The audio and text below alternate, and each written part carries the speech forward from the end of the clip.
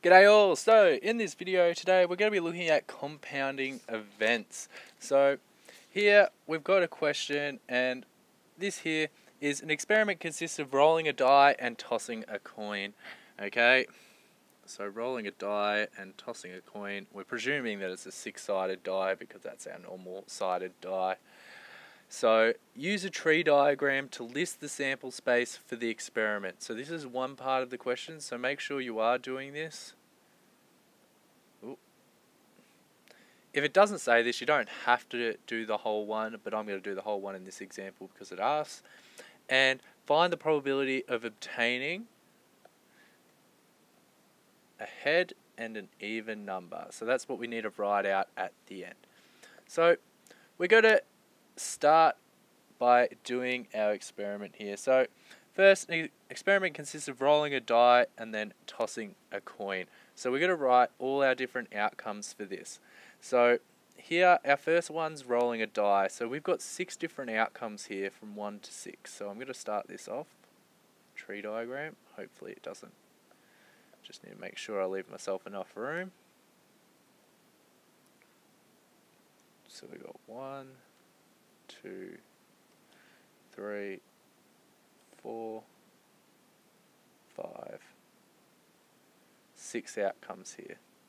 So six outcomes, we've got number one, two, three, four, five, and six.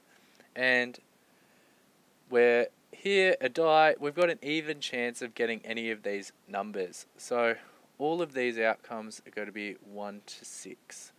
Okay, so here all of these are going to be 1 to 6. I'll write these in a different color actually, just so it's easy to see.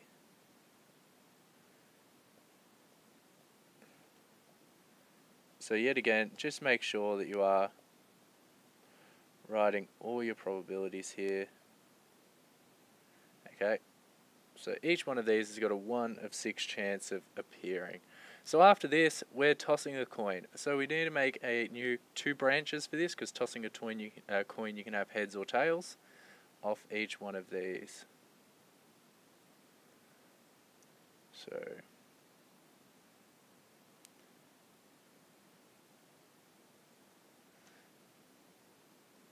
So just fill it all out.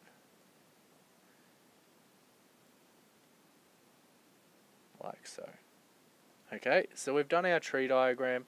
Now, each one of these, we've got a half chance.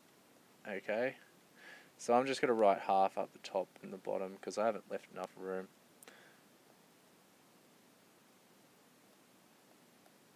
So each one of these has got a half for this branch here. Sorry, that's just me being lazy and I didn't leave myself enough room. So ideally you would write half on each one of these here just so you know. I'll write it on every second one. In each gap there. Okay, so each one of these has got a half chance. So here, we just need to work out our probability. So conditional probability is one thing happening after another. So first, we'll just focus on what it has for our question. So find the probability of obtaining a head and an even number. So we need to look at all our heads at the even numbers here. So all our h values, we're going to work out these. So we just need to work out one after the other. So we've got one sixth here, and then when something's happening after another, we multiply it. Okay? So this becomes one sixth over one half, which is equal to one twelfth. And all of these numbers are the same here, so we can just write 1 12th for each one here.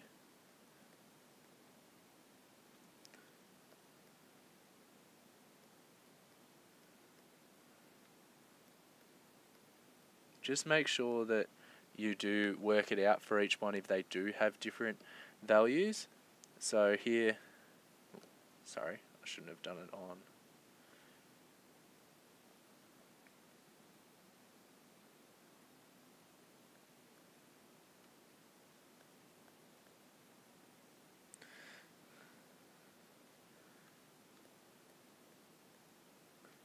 Trying to fill in all these ones. I should have left myself enough room.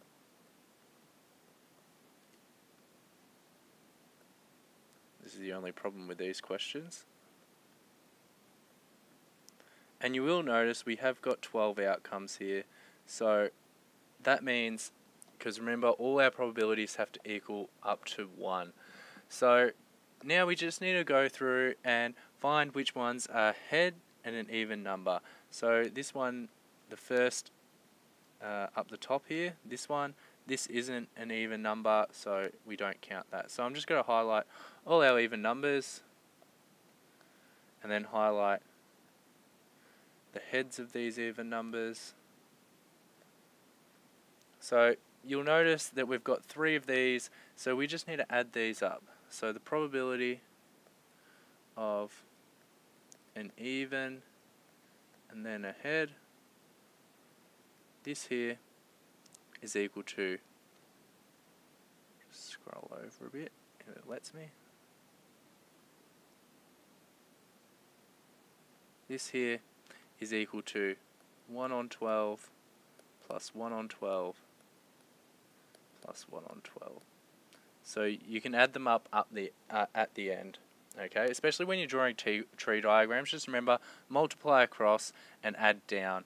So this here is equal to 3 over 12, which then simplifies down to 1 quarter is the probability of getting an even then a head. Yet again, if you had did it the other way around and did heads and tails and then did the odds and evens, this will work out the same.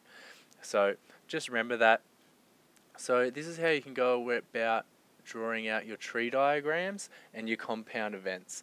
Okay, just draw out your tree, tree diagram, multiply the events together when you're going across, and then add all the ones relating to your question down. And just make sure that they that it does equal 12 at the end I mean not 12 1 at the end. So this should equal 12 over 12 here. So just remember that this should all equal to 1 when all added up okay so just remember all of those added up should equal to 1 and you'll see here that we have got, and I'll just do this in green, we should have 12 of these, 1, 2, 3, 4, 5, 6, 7, 8, 9, 10, 11, 12. So just remember that. So that's an easy way to see if you have made a mistake. Okay, if all your values at the end don't add up to 1, then you've probably made a mistake or left something out or added something that you shouldn't have added. So hopefully that helps and good luck with some questions on compound events.